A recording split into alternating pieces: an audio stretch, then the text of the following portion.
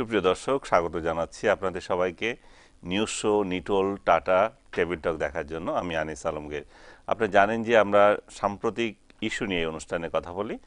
দর্শক, গত চোদ্দই জানুয়ারি চলতি অর্থ বছরের দ্বিতীয়ার্ধের জন্য জাতীয় মুদ্রানীতি ঘোষণা করা হয়েছে। সাধারণত মূল্যস্ফীতি পরিমিত ও স্থিতিশীল রাখার লক্ষ্য নিয়ে যে এই মুদ্রানীতি ঘোষণা করা হয়। এবারে মুদ্রানীতি আমাদের জীবনযাত্রায় কি প্রভাব ফেলবে সেটা নিয়ে কথা বলব আজ।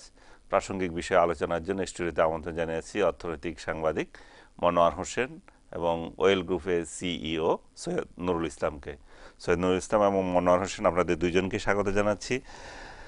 আমি সৈয়দ নুরুল ইসলাম, আপনার কাছে যাব যে মুদ্রানীতির মূল বৈশিষ্ট্য এবার কি দেখছেন? হ্যাঁ মুদ্রানীতি ধন্যবাদ আনিস ভাই। মুদ্রানীতি নর্মালি গত চার পাঁচ বছর ধারাবাহিকভাবে যে মুদ্রানীতি বাংলাদেশ ব্যাংক কর্তৃক ঘোষিত হচ্ছে সেটার মূল লক্ষ্যই হচ্ছে আসলে মেইন স্ট্রিমের মানুষকে প্রোটেক্ট করা অর্থাৎ মূল্যস্ফীতিটাকে মানে নিয়ন্ত্রণে রেখে। পরিমিত রেখে উন্নয়নটাকে প্রাধান্য দেওয়া। বাট এইবারের মুদ্রানীতি গত দুই তিনটা মুদ্রানীতি থেকে একটু রিল্যাক্স অর্থাৎ মানি ফ্লোটাকে বাড়ানোর চিন্তা করছে। আপনি সবসময় খেয়াল করবেন সরকারের সিদ্ধান্তের উপর ডিপেন্ড করে যে ক্যাশ ফ্লোটা বাজারে কতটুকু আসবে। ক্যাশ ফ্লো যত বেশি আসবে তত বেশি মানুষের কাছে টাকা যাবে তত বেশি ভোক্তার আগ্রহ বাড়বে কনজামশন বাড়বে এটা বাজারের উপর প্রভাব পড়ে যেটাকে বলা হয় মূল্যস্ফীতি। তো মূল্যস্ফীতিকে নিয়ন্ত্রণ করার জন্য অন্যান্য বছরের মুদ্রানীতিটা কিছুটা কনজারভেটিভ ছিল রক্ষণশীল ছিল।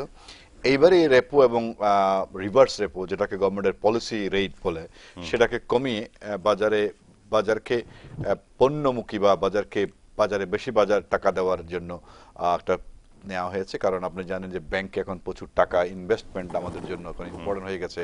সবকিছু মিলে এবারকে বাংলাদেশ ব্যাংকের গভর্নর সাহেব বলেছেন এটাকে বিনিয়োগ বান্ধব করার চেষ্টা করেছেন। একজন ব্যবসায়ী হিসেবে আমি গত তিন চার বছরের ইয়েকে মানে মুদ্রানীতিকে ফলো করে যেটা দেখছি এবারের মুদ্রানীতিতে বিনিয়োগ বিনিয়োগ বান্ধবের যে সুযোগের কথা বলা হয়েছে, তা অনেকটা প্রতিফলিত হয়েছে। এবার গভর্নমেন্ট এটা ব্যাঙ্কগুলোকে স্পেশালি ব্যাঙ্কগুলোকে একটা মেসেজ দেওয়ার চেষ্টা করেছিল। This the time to reduce your interest এবং ব্যাঙ্কগুলো সেভাবে চিন্তা ভাবনাও শুরু করেছে। আমরা এখন যেখানে ষোলো, সতেরো, আঠেরো পার্সেন্ট ব্যাংক ইন্টারেস্ট দিয়ে ব্যবসা করতাম, তারা কিন্তু এখন এগারো, বারো পার্সেন্টের ব্যাংক ইন্টারেস্টে নেমে আসার চিন্তা করছে।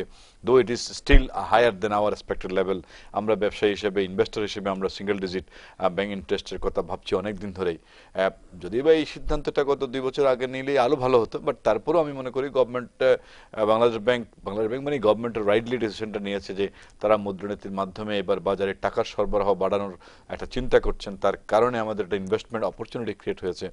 আপনি হয়তো জানেন ভাই আমার সাথে হয়তো একমত হবেন বাংলাদেশের ইনভেস্টমেন্ট কিন্তু একটা চক্রের মধ্যে ঘুরপাক খাচ্ছে অনেক বছর ধরে। গত দশ বারো বছরের এসি যদি আপনি দেখেন বাংলাদেশের প্রাইভেট ইনভেস্টমেন্ট প্রায় তেইশ থেকে চব্বিশ পার্সেন্ট অফ জিডিপির ঘুরপাক খাচ্ছে। সেখানে গভর্নমেন্ট ইনভেস্টমেন্ট কিছুটা বেড়েছে পাঁচ থেকে এবার সাত গেছে। সো আপনি যদি চব্বিশ এবং সাত ধরেন তাহলে একত্রিশ একত্রিশ পার্সেন্ট জিডিপির উপর ঘুরপাক খাচ্ছে। তাতে কিন্তু six point two six point five এর উপর জিডিপি আমাদের ঘুরপাক খাচ্ছে। অর্থাৎ এই রেশিওতে যদি আপনি বিনিয়োগ করেন এর চেয়ে বেশি জিডিপি আপনি চাইতে পারবেন এটা না। তো সিক্স পয়েন্ট এইট এ- এইবার এইবার সিক্স পয়েন্ট নাইন বা সেভেন পার্সেন্ট জিডিপি কে অ্যাচিভ করতে হলে আপনাকে প্রাইভেট ইনভেস্টমেন্ট বাড়াতে হবে এবং এই প্রাইভেট ইনভেস্টমেন্ট বাড়ানোর লক্ষ্য নিয়ে কিন্তু এবারে মুদ্রানীতি ঘোষিত আমি হয়েছে। মনোর মনোহর হোসেন আপনার কাছে যাচ্ছি। আপনি কি মানে কি নতুনত্ব দেখছেন এবার? এটার মধ্যে নত যেটা টাচ নুরুল ইসলাম সাহেব দিয়েছেন প্রথম হচ্ছে যে রিপো এবং রিভার্স রিপোর রেটটা রেট অফ ইন্টারেস্ট কমিয়ে কমিয়েছে। এটা definitely private sign positive sign আমি বলব। এটার সাথে আর একটা ব্যাপারে থ্রাস্ট দেওয়া হয়েছে ওভারঅল পলিসিতে যে শুধুমাত্র এক্সপোর্ট বাড়ালেই চলবে না এক্সপোর্টের সাথে সাথে ডোমেস্টিক মার্কেট বা মার্কেটের ডিমান্ড ক্রিয়েট করতে হবে। সো দ্যাট কোনো কারণে আনফোর্সেনেবল কোনো কারণে যদি এক্সপোর্ট হ্যাম্পার করে বা মার্কেট স্কুইজ করে সেখানে আমার ডোমেস্টিক ডিমান্ডটা যেন আমার ন্যাশনাল বা দেশের ভিতরে যে ইন্ডাস্ট্রিজ বা ম্যানুফ্যাকচারিং সেক্টরগুলো আছে সেগুলোকে যেন চালু রাখতে পারে নিজেরা কিনে নিয়ে। এটাও একটা এদিকেও জোর দেওয়া হয়েছে এবং একটা বড় ব্যাপার। আমি মনে করি সে ভেরি পজিটিভ সাইন এই জিনিসটাকে এরা বলেছে গ্রোথ ইঞ্জিন হুম। হ্যাঁ আমি আপনার কাছে ওই কোশ্চেনটা নিয়ে আসছিলাম। আসলে গ্রোথ ইঞ্জিনটা একটু ব্যাখ্যা করবেন আচ্ছা। আমাদের দর্শকদের জন্য। হ্যাঁ যে এই গ্রোথ ইঞ্জিনে আমি যেটা বললাম যে ডোমেস্টিক মার্কেটে প্রসার করার জন্য কনজিউমারদের বা বায়ারদের বাইং ক্যাপাসিটি বাড়ানোর জন্য বা আরও বেশি কনজিউম করার ক্ষমতা ইনক্রিজ করানোর জন্য বাড়ানোর জন্য যে পদক্ষেপ, যে জিনিসটা টোটাল জিনিসটা, এটাকে তার বলছে technically growth engine side in addition to the existing export line বা এক্সপোর্ট সাইড এটাও আমি কিছুক্ষণ আগে বলেছি যে কোনো কারণে যদি আমাদের এক্সপোর্ট সাফার করে which is very likely and we cannot completely it out because there has been a slight recovery in American economy আমরা আমাদের যে সবচেয়ে বড় মার্কেট কিন্তু ইউরোপিয়ান মার্কেট কিন্তু এখনও সেই রিকভারির পর্যায়ে এখন পর্যন্ত আসতে পারেনি এবার though they have been struggling trying their best same is to of Japanese economy আচ্ছা জাপানিজতে আমাদের ইকোনমিতে ততখানি আমাদের আমাদের ইকোনমিতে ততখানি এফেক্ট করবে না এক্সপোর্টটা ইউরোপের যেটা এককভাবে মানে European union single market is our largest buyer of Bangladeshi goods তারপর হচ্ছে গিয়ে আপনাদের আমেরিকা থাকছে সেখানে কিছু হলে পরে ন্যাচারালি আমাদের এক্সপোর্টটাতে এফেক্ট করবেই। এই জন্যই যদি কোনো কারণে সেই এক্সপোর্টটা এফেক্ট করে আবার সেটা যেন কম্পেনসেট করে বা পুষিয়ে নেওয়া যায় এটার জন্যই আমার ডোমেস্টিক মার্কেটের ডিমান্ডটাকে তৈরি করার জন্য যে ব্যবস্থা যে সহায়তা দেওয়ার তারা প্রমিস করেছে এখানে কমিট করেছে এবং এই জিনিসটাকে তারা বলছে যে ডোমেস্টিক গ্রোথ ইঞ্জিন হচ্ছে second another growth engine number two number one তো এক্সপোর্ট আছেই।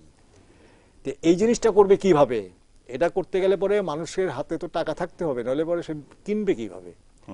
এই টাকাটা যেন যায় মানুষের হাতে এই জন্যই রিপো রিভার্স রিপোটাকে কমে আছে কমিয়ে ইন্টারেস্ট রেটটাকে সেখানে কমিয়ে এনেছে so that money flows out যেটা কিছুক্ষণ আগে হিন্টস দিয়েছেন নুরুল ইসলাম সাহেব।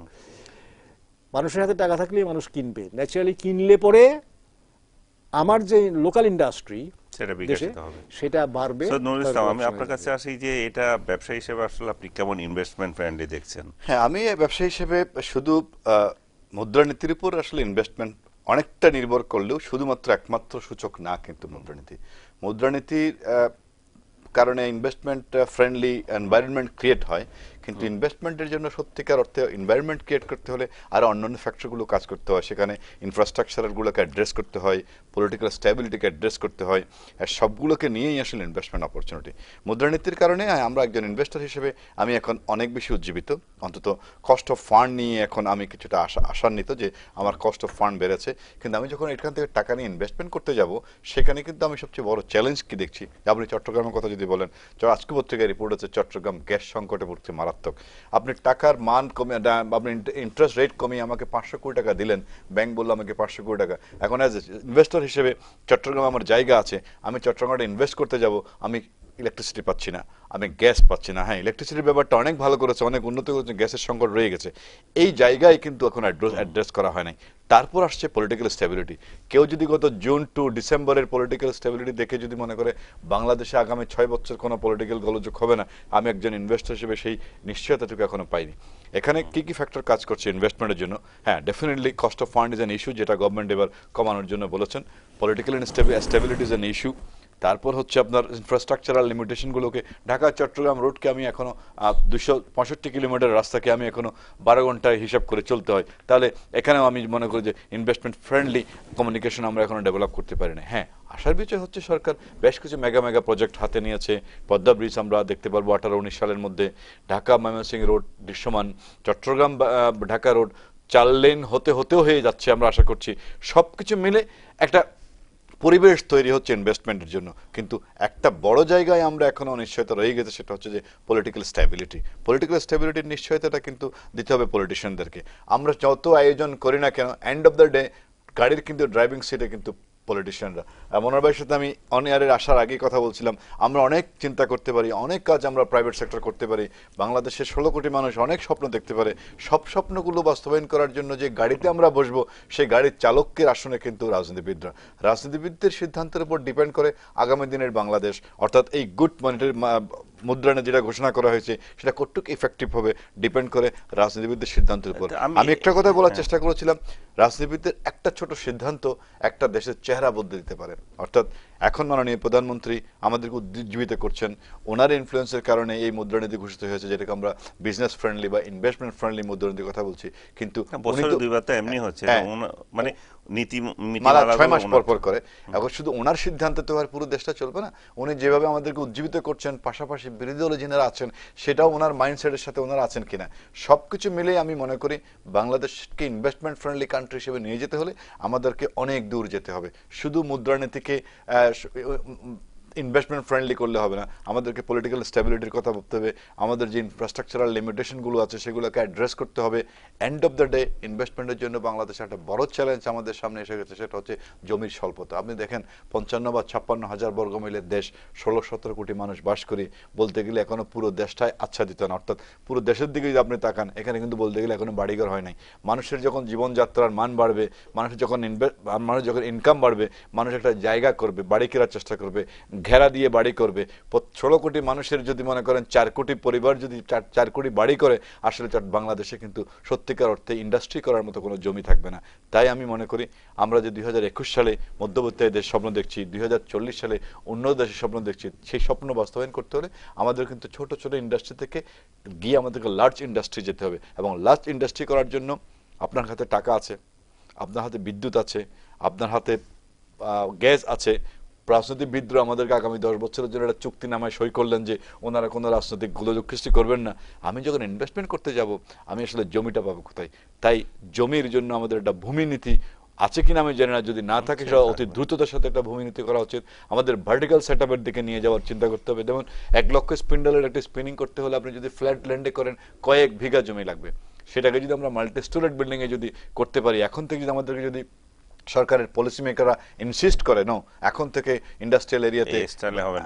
এত বড় জায়গা দিয়ে ইন্ডাস্ট্রি করা যাবে না। তোমরা ভার্টিক্যাল সেটআপে যাও। তাহলে আমরা আগামী আগামী প্রজন্মের জন্য আপনি দেখেন আমি অনেক অনুষ্ঠানে বলেছি আশির দশকে আমরা যারা ইনভেস্ট করেছিলাম আজ তারাই বাংলাদেশকে একটা শিল্প উন্নত দেশের দিকে নিয়ে গেছে। অর্থাৎ thirty thirty five billion dollar exporter country নিয়ে গেছি।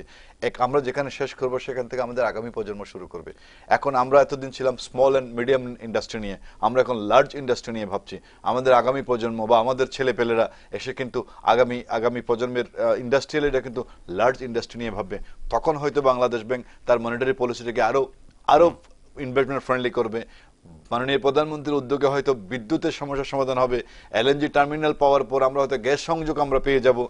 রাজনীতিবিদরা সিদ্ধান্ত নিয়ে আমি একটু শেষ করি এটা। আমি বিদা- রাজনীতিবিদদের কাছ থেকে রাজনৈতিক গ্যারান্টি পেলাম কিন্তু জমি কোথায় পাবো? টাকা থাকলে তো শুধু জমি পাবেন না। সুতরাং cost of land should not be more than cost of plant এই কথা আমাদের মনে রাখতে হবে।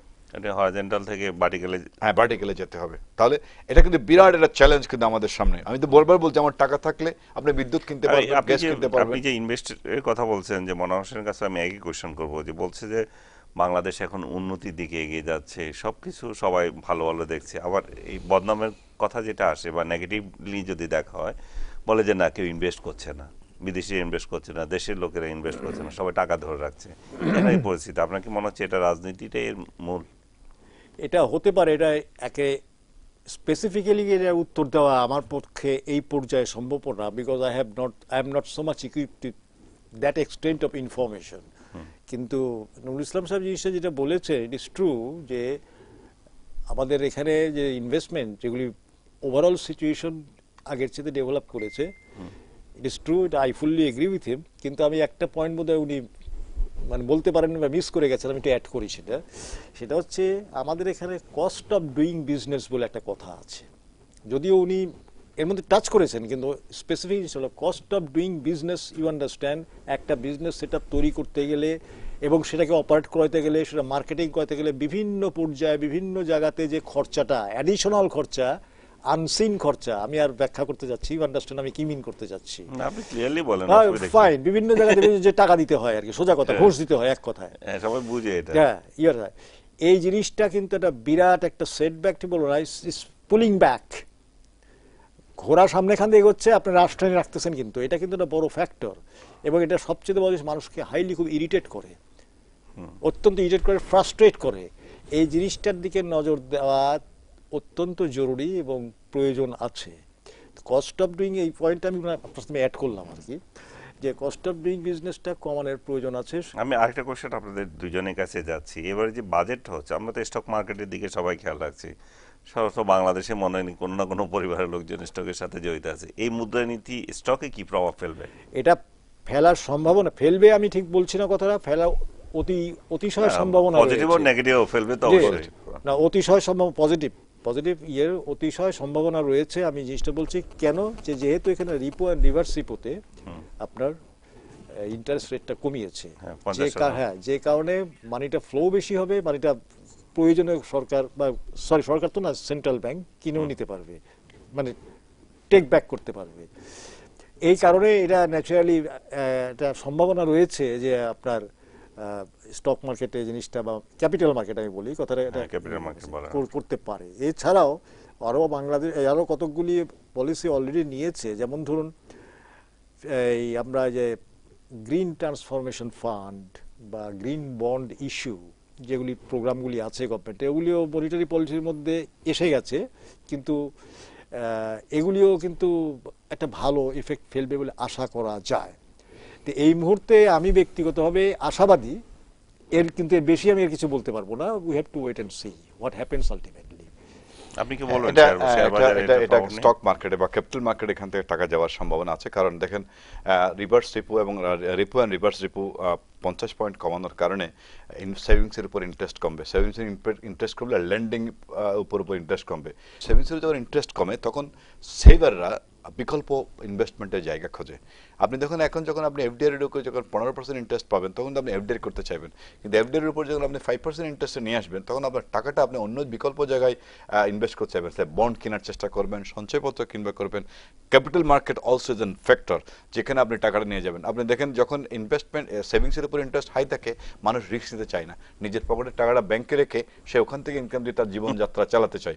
আমাদের এখানে কিন্তু পুরো মেইন স্ট্রিমের মানুষ কিন্তু পেনশনের উপর চলে এবং পেনশনের যারা পেনশন নিয়ে যারা চলেন তাদের একটা সেভিংস থাকে এবং সেভিংস এরকম যখন ইন্টারেস্টটা বেশি হয় তখন কিন্তু মানুষ আর ব্যবসা করতে চায় না। যখন ইন্টারেস্টটা কমে যায় তখন তারা বিকল্প ইনভেস্টমেন্টের সুযোগ খোঁজে।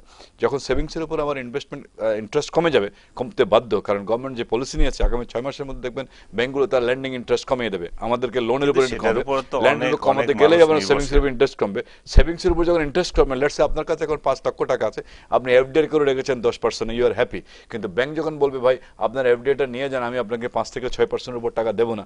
তখন কিন্তু আপনি ভাববেন where you can go with your money তখন আপনি ক্যাপিটাল মার্কেটে যাওয়ার চেষ্টা করবেন। ক্যাপিটাল মার্কেট ক্যাপিটাল মার্কেটে গিয়ে আপনি আবার capital market suppose to move capital market suppose to move by the this monetary policy কিন্তু কথা হচ্ছে শুধু আহ, টাকা থাকলেই যে মানুষ ক্যাপিটাল মার্কেটে যাবে তা না কিন্তু। ক্যাপিটাল মার্কেটে যেতে হলে ক্যাপিটাল মার্কেটের প্রতি মানুষের আস্থা ফিরিয়ে আনতে হবে। ক্যাপিটাল মার্কেট আমাদের দুইটা ডিজাস্টার হয়েছে গত পনেরো বছরে।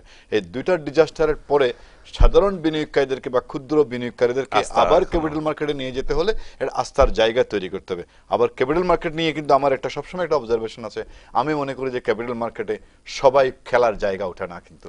ক্যাপিটাল মার্কেটে তারা যাবে। ক্যাপিটাল মার্কেট হচ্ছে এমন একটা জায়গা আপনি যদি খেলোয়াড়দের নিয়ে বলেন A division B division C ডিভিশনের প্লেয়াররাও যখন এ ডিভিশনে খেলতে যায় ফার্স্ট ক্লাস ক্রিকেট খেলতে যায় বা ফুটবল খেলতে যায় ওখানে তাদের হাত পা ভাঙে। সেজন্যই ক্যাপিটাল মার্কেটে খেলতে হবে কিন্তু ভালো প্লেয়ারদেরকে অর্থাৎ একেবারে কালকে উঠে আসা আনারিরা যদি খেলতে যায় ক্যাপিটাল মার্কেটে কিন্তু পা ভাঙবে যেটা হয়েছে। তাই আমি যেহেতু ক্যাপিটাল মার্কেটের কথা উঠেছেন জনগণকে আমি একটা কথা বলব capital market is not open for all capital market is open for a যারা ক্যাপিটাল মার্কেট বুঝে তাদের জন্য। ওখানে আপনার টাকা জেনে শুনে যাওয়া। জেনে শুনে যদি ওখানে আপনার টাকা থাকলেই যে আপনি ক্যাপিটাল মার্কেটে গিয়ে ইনভেস্ট করবেন এটা কিন্তু ওই না জানার লোকজনের ফুটবল খেলতে ঢাকা স্টেডিয়ামে ফুটবল খেলতে আসার মতো বিরাট একটা সংকট। একদিক দিয়ে আমি ব্যাংকে যখন দিচ্ছি তখন ইন্টারেস্ট রেট কমে যাচ্ছে। ব্যাংক থেকে তুলতে যাচ্ছি তখন ইন্টারেস্ট রেট ডবলের ডবল আবার ক্যাপিটাল মার্কেটে হলে শূন্য হাতে দুজনের কাছে আসব একটা বিরতি এই পয়েন্টে এই পয়েন্টে জাস্ট টু মিনিটের কথা বলছি। না আমি বিরতি নিতে হচ্ছে বিরতি নিয়ে আসছি। দর্শক একটা বিরতি নিয়ে ফিরে আসছি সঙ্গে থাকুন।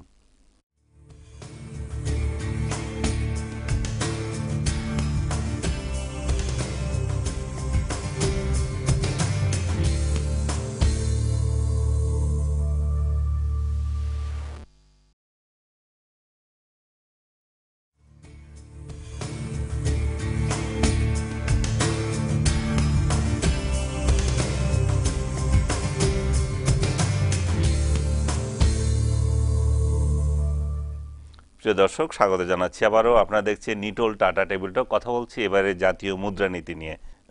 মনোহর হোসেন, আপনি বলছিলেন শেষ বিদায় নেওয়ার আগে কি যোগ করতে চাচ্ছিলেন যে স্টক মার্কেটে এটার প্রভাব নিয়ে?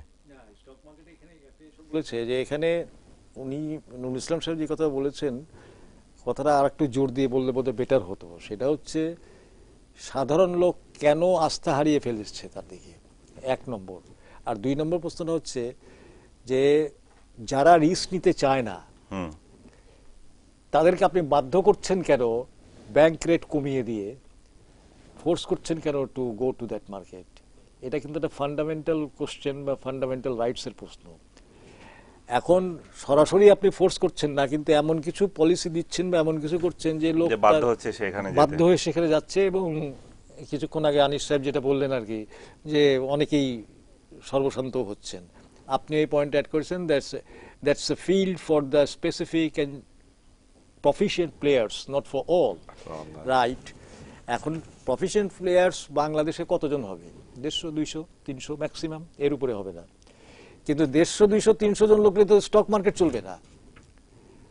স্টক মার্কেটে যত লোক আসবে অর্থাৎ আমরা সরাসরি কথা বলি যে ইনভেস্টর যত হবে সে দশ টাকা দামের শেয়ারই কিনুক বা দশ কোটি টাকা দামের শেয়ারই কিনুক ইজ অ্যান ইনভেস্টর এই ইনভেস্টর যত বেশি আসবে যত বেশি ঢুকবে তত বেশি শেয়ার মার্কেট ভাইব্রেন্ট হবে তত বেশি শেয়ার মার্কেট চাঙ্গা হবে। এখন এই পয়েন্টে যদি আমরা স্টিক করি যে তাহলে পরেতে যারা শেয়ার মার্কেটের আপনার ভাষায় যারা প্লেয়ার তারা তো ইয়ে করে বসে থাকবে যে সর্বনাশ তো আমাদের সর্বনাশ হয়ে যাচ্ছে। না উনি আবার বলেছেন যারা খেলতে জানে তারাই আসুক। ওই তাদের সংখ্যা কত হবে? দুইশো জন তিনশো জন এর উপরে হবে আমি না? জানি তাহলে ইনভেস্ট করব কেন? You are absolutely right you are absolutely right কিন্তু টেম্পটেশন শেয়ার বাজার মনে করেন যে আমি টাকা দিলে টাকা আসবে সেটা তো ভুল ধারণা। You are absolutely right no point to differ but my point is this মানুষের মধ্যে টেম্পটেশন বলে একটা জিনিস আছে তো। লোভ বলে তো একটা জিনিস আছে এটা তো অস্বীকার করা যাবে না। তাহলে আমাদের মূল বিষয় হচ্ছে আসলে আপনাদের মতো লোকরা সচেতন করতে হবে সাধারণ লোকদের। এই জিনিসটা ইয়েস ইয়েস তোমার জন্য না ইয়েস এই জিনিসটা যেটা উনি বলেছেন যে আরও আমরা শেয়ার বাজার হ্যাঁ। থেকে মুদ্রা মুদ্রানীতিতে আসি। মুদ্রানীতি বাস্তবায়নের চ্যালেঞ্জগুলো আপনি কি কি দেখছেন? আসলে কি পারবে এটা টার্গেট বাস্তবায়নে? আমার আমি মনে করি না খুব একটা কঠিন হবে কেননা এখানে আবার বাংলাদেশ ব্যাংকের সরি সেন্ট্রাল ব্যাংকের স্টেটমেন্টের মধ্যেই আছে প্রোভাইডেড যদি বর্তমান যে পরিস্থিতি রাজনৈতিক পরিস্থিতি মানে বর্তমান পরিস্থিতিটিকে তার আইডিয়া মানে ভালো বলছেন এবং এই পরিস্থিতি যদি কন্টিনিউ করে তাহলে পরে আমাদের অ্যাচিভমেন্টে কোনো অসুবিধা হবে না। প্লাস এরপরেও আমরা হাতে অনেক কিছু রেখেছি অ্যাজ অ্যান্ড হোয়েন নিডেড আমরা প্রয়োজনে অ্যামেন্ড করব বা কিছু করব। ওকে এটা তারা এই অপশন আগেও ছিল। আমি। হ্যাঁ মুদ্রানীতি যখন নাকি ফার্স্ট পাবলিক করা হয় in the year two thousand four I was the first man to bring it to the public তখন যিনি গভর্নর ছিলেন তাকে নিয়ে। কাজে আমার একটা এর সাথে একটা অ্যাটাচমেন্টও আছে মোটামুটি আমি খোঁজ খবর তাহলে আমরা যেহেতু অতীতের কথা তুললে তুললেনি তাহলে একটুখানি জিজ্ঞেস করি যে ওই এর আগে টু থাউজেন্ড ফোরের আগে যখন মুদ্রানীতি করতো না আর এখন যে করছে এখানে একটা ভুল মুদ্রা- করতো না। মুদ্রানীতি হ্যাঁ পাবলিক করতো না। এটার কি প্রভাব পড়ল? এটার প্রভাব হচ্ছে যে পাবলিক জনসাধারণ এখন জানছে মুদ্রানীতি বলে একটা জিনিস আছে এবং মুদ্রানীতি একটা ভালো করছে। কি হচ্ছে? Knowledge is, is not knowledge again. Knowledge itself is again. আমি আমি ভাবছি যে তাহলে যারা ব্যবসায়ী হ্যাঁ। তাদের এটা এই পলিসি জানার ফলে কি লাভ হচ্ছে না তারা আগাম ভঙ্গি পাচ্ছে না যে আগামীতে কি হতে পারে? কি হতে পারে? তাহলে অনেক সচেতন হতে পারছে। অবশ্যই মুদ্রানীতিটা কি আগামী ছ মাসের জন্য?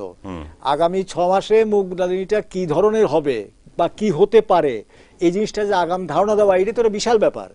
যারা এক্সপার্ট প্লেয়ার তারা ওই ইন্ডিকেশনই তাদের জন্য যথেষ্ট কি হতে পারে মানে সিচুয়েশনটা বুঝে নেওয়ার জন্য যথেষ্ট। তারপরেও কিছু সেফটি বাল্ব হিসাবে authority here the central bank মানে বাংলাদেশ ব্যাংক তারা কিছু জিনিস হাতে রাখে। এই জন্য বলে না যে আমরা অ্যাকোমোডেটিভ এবারে মুদ্রানীতি বলা হচ্ছে কি অ্যাকোমোডেটিভ আমরা করব। অর্থাৎ যখন যেটা প্রয়োজন হবে আমরা অ্যাকোমোডেট করব। এখানে একটা মজার ব্যাপার হচ্ছে যে আপনার এই অ্যাকোমোডেট করতে যে আরও কিছুগুলিতে ব্যাপার তাদেরকে নজর দিতে হবে এবং তারা নজর দিচ্ছেনও, সেটা হচ্ছে ইনক্লুশন ফিনান্সিয়াল ইনক্লুশন বাংলাদেশ এখন ফিনান্সিয়াল ইনক্লুশনে পৃথিবীতে বোধহয় সম্ভবত second if I am not mistaken number one is Kenya তো এখন এই ইনক্লুশন করার মানেটা কি? মোদ্দা কথায় আপনি প্রত্যেককে সুযোগ দিচ্ছেন বিভিন্ন হয় through banking channel and others যে তুমি কিছু করো। ব্যবসা করো, গরু পালো বা ছাগল পালো বা সহ্য শস্য উৎপাদন করো যা কিছুটা করো। অর্থাৎ আপনি তাকে টাকা কামানোর জন্য বা টাকা আর্ন করার জন্য একটা সুযোগ আপনি তাকে দিচ্ছেন সেই সুযোগটা সে নিচ্ছে কিছু কামাচ্ছে কিছু কামালে পরে সে তখন অন্যদিকে কনজিউমার্সে চলে যাচ্ছে। এই কনজিউমিংটা এই কনজিউমার্স লেভেল মানে কি? এখনকার কনজিউমার্স লেভেল মানে কি? ভালো কাপড় চোপড় পরা টেলিভিশন করা এটা কি বলে আপনার আপনার ফ্রিজ রাখানো ছেলে মেয়েদের পড়াশোনা করা সর্বত্রই তো আপনার এক্সপেন্ডিচারটা হচ্ছে।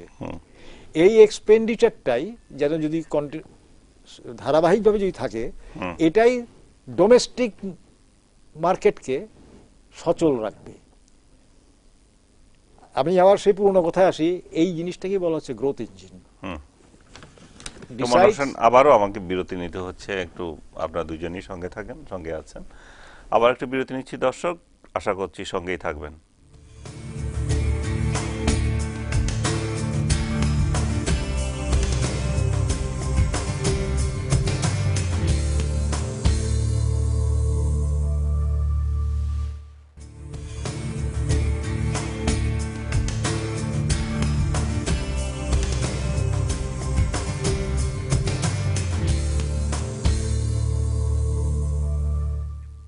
স্বাগত জানাচ্ছি আবারও। আপনারা দেখছেন নিটোল টাটা টেবিল টক। কথা বলছি এবারে জাতীয় মুদ্রানীতি নিয়ে। অতিথি হিসাবে আছেন নুরুল ইসলাম, সৈয়দ নুরুল ইসলাম এবং মনোয়ার হোসেন। সৈয়দ নুরুল ইসলাম, আপনার কাছে যাচ্ছি আবার। যেটা বলছিলাম যে কতটুকু বাস্তবায়নের জন্য, কতটুকু আসলে মানে টার্গেট অর্জন করতে পারবে কিনা যে যেভাবে এটা আগাচ্ছে। সেটা আমি যে কথা বলছিলাম যে মুদ্রানীতি তো ঘোষণা করা হয় আসলে ছয় মাসের জন্য ছয় মাস খুব লম্বা সময় না আসলে। এবং ছয় মাসের জন্য মুদ্রানীতি ঘোষণা করতে গিয়ে মুদ্রানীতির যে অবজেক্টিভসগুলো বলা হয়েছে এই মুদ্রানীতির মূল অবজেক্টিভস কি? মূল অবজেক্টিভস মধ্যে হচ্ছে যে ইনভেস্টমেন্টকে এনকারেজ করা পাশাপাশি আবার মুদ্রাস্ফ- মুদ্রাস্ফীতিকে অর্থাৎ অর্থাৎ ইনফ্লেশনকে কন্ট্রোল করা তারপর হচ্ছে জিডিপিটাকে অ্যাক্সেলারেট করা। তিনটা কিন্তু অবজেক্টিভ ফার্স্ট হচ্ছে আপনাকে ইনভেস্টমেন্টকে এনকারেজ করতে হলে জিডিপি গ্রোথ হবে। আবার ইনভেস্টমেন্টকে এনকারেজ করতে গিয়ে যখন বাজারে টাকা বেশি দেবেন, তখন হয়তো মূল্যস্ফীতি বাড়বে, যেটাকে আমরা ইনফ্লেশন বলি। তো এই তিনটা জায়গায় কিন্তু গভর্নমেন্টকে কাজ করতে হয় ওয়াচ ডক হিসেবে দেখতে হয়। একদিকে শিল্পায়ন ত্বরান্বিত করতে হবে, অন্যদিকে শিল্পায়ন করতে গিয়ে আপনার কোনো মূল্যস্ফীতি বাড়ছে কিনা দেখতে হবে আবার জিডিপির সাথে মূল্যস্ফীতির সংযোগটা ঠিকমতো রাখতে পেরেছে কিনা। এবং বর্তমান যে পরিপ্রেক্ষিত সেই প্রেক্ষিতে আমি মনে করি অর্জন করা সম্ভব। হ্যাঁ provided it's a political stability আপনি দেখেন আমাদের কিন্তু আমাদের দেশে কিন্তু অনেক কিছু ডিপেন্ড করে রাজনীতিবিদদের সিদ্ধান্তের উপরে। কারণ গত তিরিশ চল্লিশ বছর আমাদের রাজনৈতিক ঘটনা প্রবাহগুলো যদি আমরা দেখি আমরা আসলে এক মাসের জন্য স্বস্তি থাকতে পারি না। তাহলে এই চ্যালেঞ্জগুলো মোকাবেলার জন্য আপনি এই সুশাসনকে বেশি হ্যাঁ, আপনি সুশাসন তো আসছেই। এখানে বাংলাদেশ ব্যাংকের গভর্নর মহোদয় কিন্তু বলেছেন যে আমরা যে অবজেক্টিভগুলো ফিক্স করেছি এই মুদ্রানীতিতে সেগুলো আসলে বাস্তবায়ন অনেকটা নির্ভর করে রাজনীতিবিদদের আচরণের উপর অর্থাৎ রাজনীতিবিদদের সিদ্ধান্তের উপর। আপনি একটা শব্দ উচ্চারণ করেছেন সুশাসন সেটাও কিন্তু রাজনীতিবিদদের উপর ডিপেন্ড করে। সুশাসন যদি না থাকে আসলে পৃথিবীতে বা কোনো দেশ আপনার ঘরে যদি সুশাসন না থাকে আপনার ঘরের যে বাজেট ঘরের যে সেটাও নীতি। সেটাও বাস্তবায়িত হতে পারবে না। আমাদের সমাজে যদি সমাজে যদি সুশাসন না থাকে সমাজ টিকবে না। রাষ্ট্রে যদি সুশাসন না থাকে আসলে রাষ্ট্রের কোনো লক্ষ্যই অর্জিত হবে না। তাই আমি মনে করি আজকের আলোচনা আমরা কমপ্লিট করতে পারি। চমৎকার একটা মুদ্রানীতি ঘোষিত হয়েছে। এই মুদ্রানীতি বাস্তবায়ন যোগ্য কর্তৃক সেটা কিন্তু ডিপেন্ড করছে রাজনৈতিক সদে- রাজনীতিবিদদের সদিচ্ছার উপর। ওনারা কর্তৃক স্টেবিলিটি আমাদের দেবেন। হ্যাঁ এন্ড অফ দ্য ডে আপনি যে শব্দের উচ্চারণ করেছেন সুশাসন সেই সুশাসনটা কর্তৃক মনোয়ার নিশ্চিত হোসেন করা আপ- যাচ্ছে। আপনার কাছে শেষ কথাটা জানতে চাই। আমার ধারণা যে পেসে বা যেভাবে এখন জিনিসটা এগোচ্ছে সেভাবেই এগোতে থাকবে এবং যে অবজেক্টিভগুলি সেট করা হয়েছে ইট ইজ অ্যাচিভেবল এবং এখানে তো আবার সেন্ট্রাল ব্যাংক আর একটু বেশি অপটিমিস্টিক বলেছেন। তারা বলেছেন যে ইট মে বি আমাদের জিডিপি হয়তো সেভেন পার্সেন্টও টাচ করতে হ্যাঁ, পারে। করতে পারে, যদি এটা finance সুশাসন থাকে। জি এটা ফিনান্স সবই সাবজেক্ট টু দ্য কন্ডিশন মাইন্ডের একটা জিনিস কিন্তু এখানে ক্লিয়ার করা দরকার। সেটা হচ্ছে যে সব কিছু কিন্তু এস্টিমেট কোনো কিছু কিন্তু ফাইনালাইজ না। বাজেট বলেন মুদ্রানীতি বলেন সমস্ত এস্টিমেট আমরা এস্টিমেট করছি এত কমও হতে পারে বেশি হতে পারে। খারাপ দিকে যদি কম হয় তাহলে পর আমরা অ্যাডজাস্ট করব সেই প্রভিশন রেখে দেওয়া হয়। কিন্তু সব কিছু কিন্তু জিনিস করে to some to subjective condition what is the condition এবং that you have referred well mister Islam has also referred well I don't want to হচ্ছে, হ্যাঁ। সেজন্য বলছে অ্যাচিভেবল এখন তারপরেও আমি বলব যে all swell that end swell thank you thank you Syed Nurul Islam এবং মনোয়ার আপনাদের দুইজনকে ধন্যবাদ জানাচ্ছি। আজকে এখানে শেষ করতে হচ্ছে। প্রিয় দর্শক ধন্যবাদ জানাচ্ছি আপনাদেরও যারা এতক্ষণ আমাদের সঙ্গে ছিলেন। ভালো থাকবেন সবাই।